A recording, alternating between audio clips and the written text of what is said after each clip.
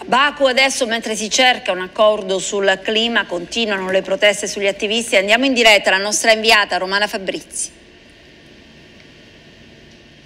Sì, qui le delegazioni sono a lavoro fino a tardi questa sera per cercare di trovare terreno comune. La prima bozza di accordo sulla finanza climatica ha scontentato un po' tutti. Sono ancora molte le divergenze tra i paesi. Il segretario generale delle Nazioni Unite Guterres ha detto che bisogna dare una spinta, una grande spinta a questo negoziato. Si aspetta per domani una possibile nuova bozza. Secondo alcune indiscrezioni potrebbe arrivare anche questa sera con la mediazione della Presidenza. Intanto qui sono molti gli attivisti che chiedono un mondo diverso. Vediamo il nostro servizio con Stefano Rogliatti e poi linea a voi.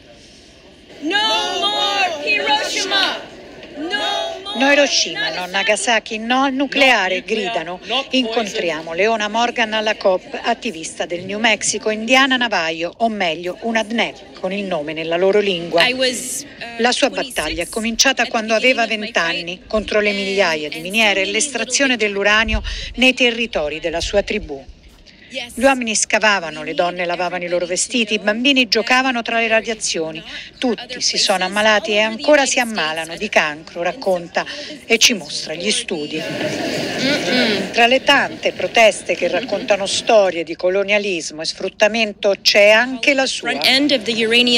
L'uranio è una catena mortale, dichiara Leona, già l'estrazione crea danni, poi ci sono le scorie e aggiungiamo che si usa per la guerra.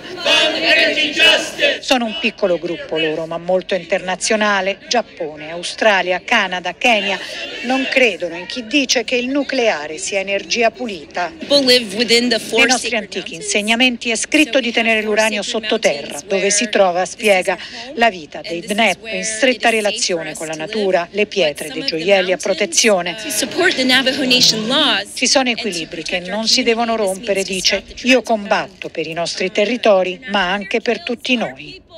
Where there is uranium mining, wherever